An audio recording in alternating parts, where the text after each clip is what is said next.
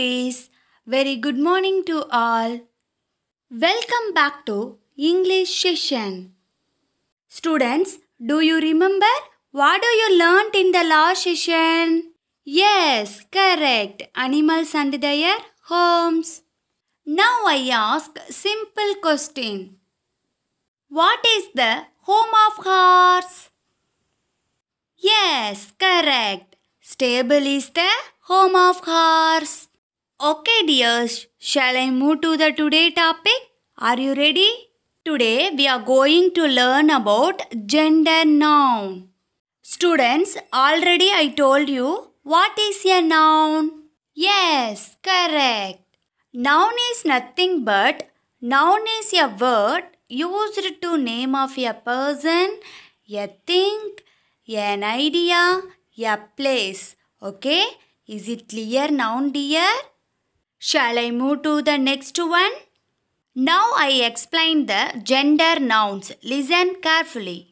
A gender specific noun is a noun that refers specifically to someone or something, male or female. In English, the four genders of noun are Listen, I read one by one. First one masculine, second one feminine, third one common, and last one neuter. Do you understand gender noun dears? Now we can see the each one. First we learn about masculine noun. Masculine noun is nothing but a male member of a species is a masculine gender noun. I give example dear. Listen carefully. First one uncle, king, bull, and hero, etc. Once again I repeat it masculine noun. Masculine noun is nothing but a male member or animals. Okay. Do you understand masculine noun dear? Shall I move to the next one? Next we will learn about feminine noun. Feminine noun is nothing but a female member of a species is a feminine gender noun. Okay? Now I give example for feminine noun. Listen carefully. First one aunt. Next queen, heroine and cow etc. Once again I repeat it feminine noun. Feminine noun is nothing but a female members or female animals. Okay? Is it clear feminine noun? Shall I move to the next one? Do you understand both nouns dear? Now I give more examples for masculine and feminine noun. Listen carefully. I read one by one. Listen dears. First one headmaster. Headmaster is masculine noun. Students, I ask one question. Why do we call the headmaster is a masculine noun?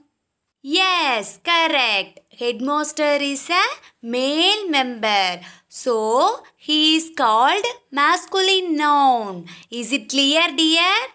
Headmistress is feminine noun. Now I ask simple question. Why do we call the headmistress is a feminine noun? Yes, correct dears. Headmistress is a female member. So, she is called feminine noun. Is it clear dear? Headmaster is a masculine noun. Headmistress is a feminine noun. Second one. Hero is a masculine noun. Heroine is a feminine noun. Next one. Hunter is a masculine noun. Huntress is a feminine noun. Next one. Husband is a masculine noun and wife is a feminine noun. King is a masculine noun and queen is a feminine noun. Man is a masculine noun. and woman is a feminine noun. Milkman is a masculine noun and milkmaid is a feminine noun. Do you understand masculine and feminine noun, dears? Shall I move to the next one? Next, we will learn about common noun. A common gender noun is used for either or both males and females. Okay? Now I give examples for common nouns. Listen carefully. First one student, pilot, doctor, and teacher, etc. Once again I repeat it common noun. Listen carefully.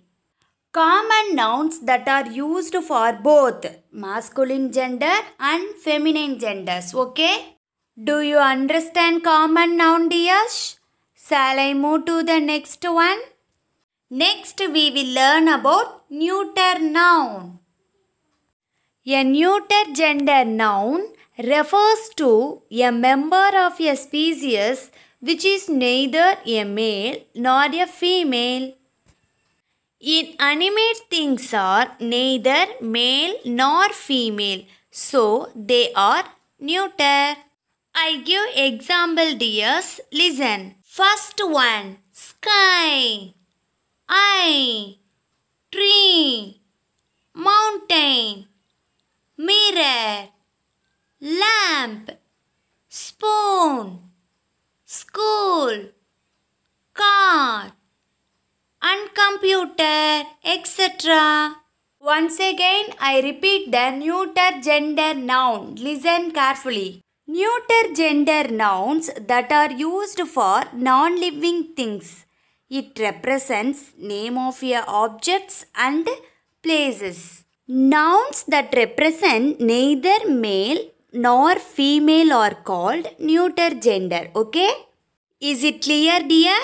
Let's see more examples for common and neuter nouns. First, let's see the common noun. First one, he is a clown. In this sentence, we are talking about clown. Clown is a general name for the person, so it is called common noun. Second one, it is his dog. Dog is a general name for the animal. Third one, they live in a city. City is a general name for the place. Okay, is it clear? Next, we will move to the neuter noun. First one, book. Book is a non-living thing. So, it is called neuter noun. Is it clear? Next one, table. Pen. Bed. Chair. Box. Handphone. These are called non-living things. So, it is called neuter noun. Is it clear dear? I hope you understood the today topic. Next, we will move to the homework session. Do your homework properly and send your photos to your classmates.